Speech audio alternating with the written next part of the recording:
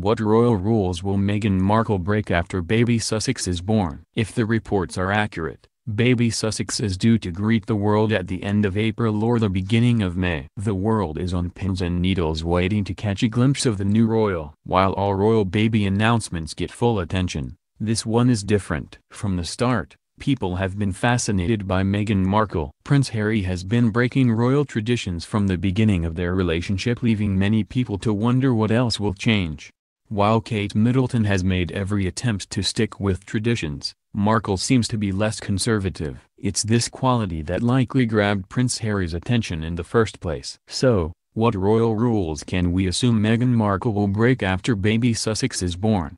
The rules Prince Harry broke with Meghan Markle. The most obvious royal rule or tradition that Prince Harry broke when he began his relationship to Markle is her status. She did not come from any royal bloodline, or posh family like Kate Middleton did. She was an American actress. According to Marie Claire, this breaks the mold for the royal family in so many ways. On top of being American, she was also previously married and divorced. The law that forbade royals from marrying people who have been divorced has been changed making it legal. However, it is still frowned upon in many circles. Not that that seems to matter to either one of them. Believe it or not, there are rules against royal couples holding hands in public. This royal rule may sound completely foreign to us regular folks, but it exists. Not that we blame Prince Harry and Meghan Markle but they most definitely break this royal rule. Royal rules Meghan Markle has broken thus far. There are very specific rules that royal women are supposed to follow when they are pregnant. While Meghan Markle has done her best to follow most of them, there are some royal rules that she has broken. To start with,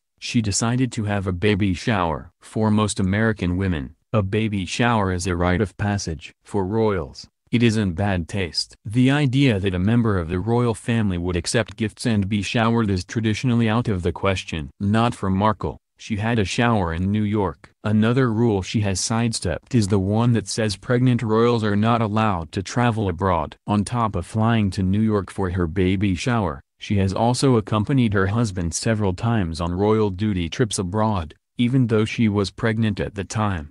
There are also strict rules on what she should wear while expecting. Like Kate Middleton did with her pregnancies, Markle is supposed to wear loose clothing, close-toed shoes, and stay conservatively covered up. Already, we have seen Markle break all these wardrobe rules, and wear what makes her comfortable. Rules Meghan Markle will break after baby Sussex is born. Some royal rules we have heard she might break once baby Sussex arrives also has a lot to do with American versus English traditions. For starters, Markle has suggested that she may want to have a natural home birth. If that happens, she won't have her baby at the same hospital that royal women have been using for decades. If Markle decides to give birth at home, it is unlikely that she will pose outside the maternity ward, like Kate Middleton and Princess Diana before her. She has expressed concern about the stress of needing to look picture perfect so soon after giving birth. She would rather spend that time bonding with her bundle of joy. Speaking of her bundle of joy, she is considering breaking the royal rules for name choosing. According to Stylecaster, Markle and Prince Harry are thinking about naming the baby Diana if possible. Traditionally royal babies are named after former British monarchs. Of all the royals we have seen, Prince Harry and Meghan Markle are the most independent. They seem to have made it their goal to change things up and pave the way for more modern traditions. And, we can't wait to see what happens when baby Sussex arrives.